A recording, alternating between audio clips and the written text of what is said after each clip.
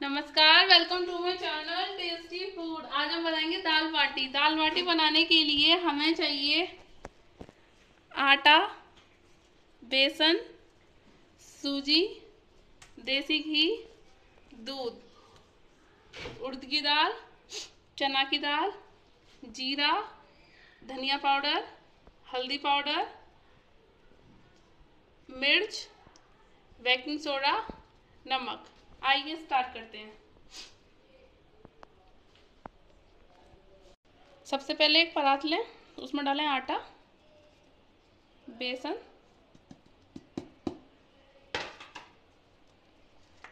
सूजी।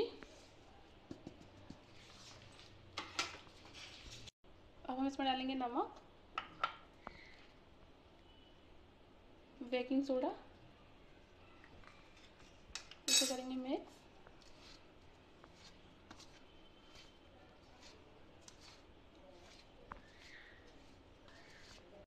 अब हम इसमें डालेंगे घी।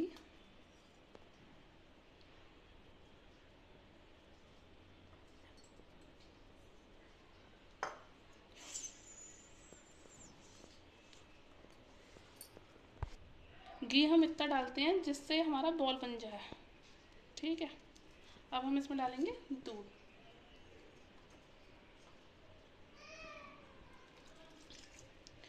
आटा में ऐसा मलना है जैसे हम पूड़ी का मलते हैं। टाइट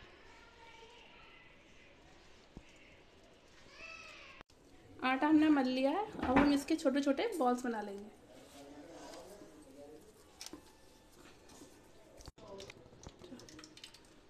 बॉल्स हमने बना लिए हैं, अब हम कढ़ाई पैन में रिफाइन हमारा गर्म हो चुका है, अब हम इन्हें सेकेंगे।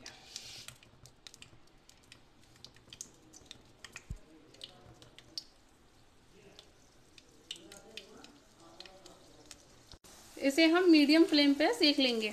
हल्का हल्का सेकना है। अब हम बाटियों को निकाल लेंगे।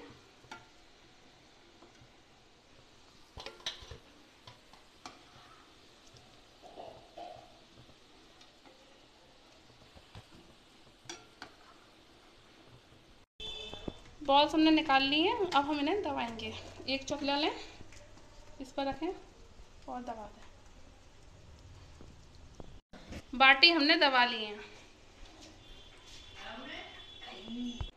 दाल हमने धो ली है अच्छे से। दाल को हम डालेंगे कुकर में।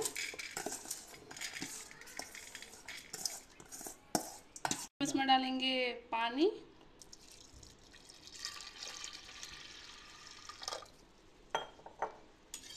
अब हम इसमें डालेंगे नमक। हल्दी। अब हम कुकर का ढक्कन लगा देंगे।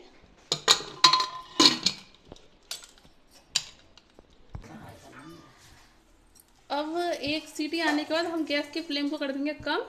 उसके बाद पाँच दस मिनट बाद हम गैस को कर देंगे बंद। अब हम दाल में लगाएँगे छौंक। इसमें डालें थोड़ा सा घी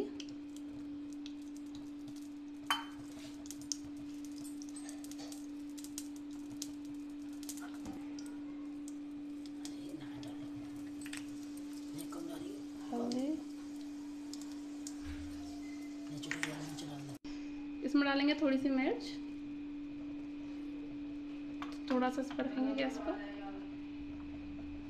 और दाल में डाल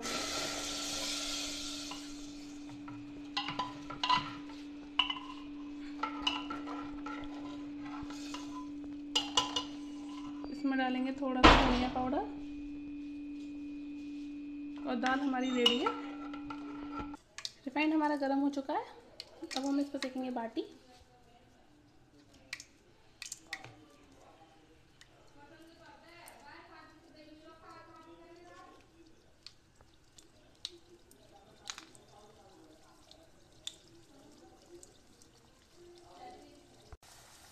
बाटियों को हम दोनों साइड से फ्राई कर लेंगे।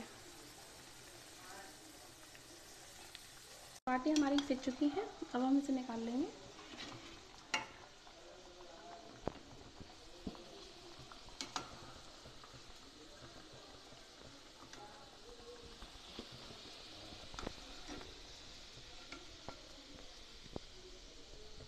दाल बाटी को हम खीर, चटनी और मूली मूली कस के साथ खाएँगे।